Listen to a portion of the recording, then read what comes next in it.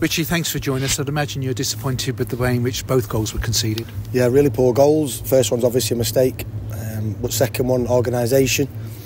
The angle of approach by our man who, who goes for short corners was poor, um, and then we don't pick up when they get first and second contact. If you lose two contacts at this level, you're probably going to concede a goal. So two poor goals against a really good team, good outfit. Um, but if you're going to concede goals, Sam, you'd rather them be of quality goals, pass through you, or moments of magic, rather than really, just really, really poor goals. Because you started so brightly, creating an early chance and had a penalty appeal. Dave, we start brightly and every foot, but it's tippy tappy. And it's great. Okay, we're playing one twos, nice, nice, nice, nice. We don't cross the ball. We don't have play. So when they counter or when they have good pieces of play, they finish with a shot. They finish with a cross. They finish with a goalkeeper after making a save because they've got good players. We're interested in getting 15, 20 passes in our final third instead of okay, we've we've made someone pass it now. They're facing forward, cross the ball, put it in the box, play past people, run we don't have a centre forward that is demanding the ball in the box. If I was playing a centre forward today and we did, we've got all them good opportunities, cross the ball, and we don't have it. We don't have it. It's the biggest deficiency in our team. Our goal scoring, we've got close to the playoffs, and I probably knew this was coming. Um, well, I did know it was coming. We scored one in five, two in five, including today, and we just fell short.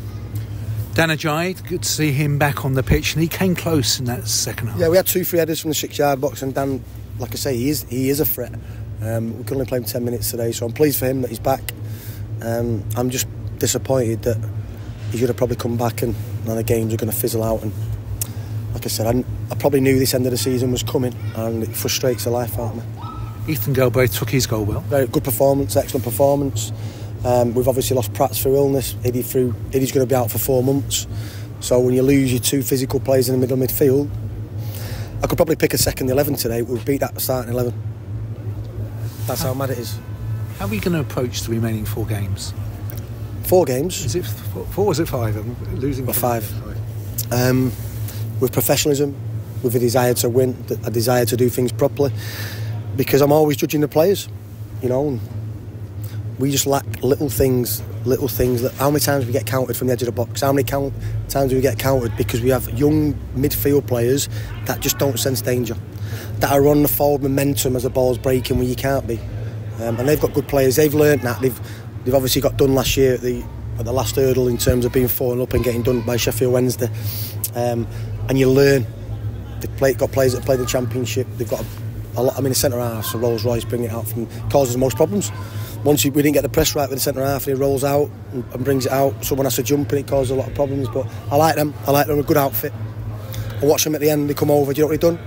He walked over, he clapped the supporters, he thanked him for travelling, thanked him for the support, and he, and he got off. Next game at Wembley, I seen two of our positions in the in the last six weeks coming, the fist pumping everything. Burton come in and fist pump. They've lost seven in a bounce since, and I think it's embarrassing that teams do it. Really like them. Top manager, top outfit, good players. Go over, clap the supporters. My professional next game get off. So congratulations to them. Home again on Saturday, and Cheltenham from a winning position lost today. They need the points. Yeah, I, I think Cheltenham away was a turning point from our season. Um, and I think at home we're very, very, very effective, but away it's different dimension. The pitch there is very small, the way that they play, so they'll be fighting for their lives. And um, listen, we've got, a, we just have to stay honest. You know, there's a lot of players out for contract, and a lot of them at the moment are 50, 50, 60, 40. So I do think we need we need more quality in the squad. We squeezed every single ounce out of these players, you know, and I'm tired. I'm tired because I think I've done a good job.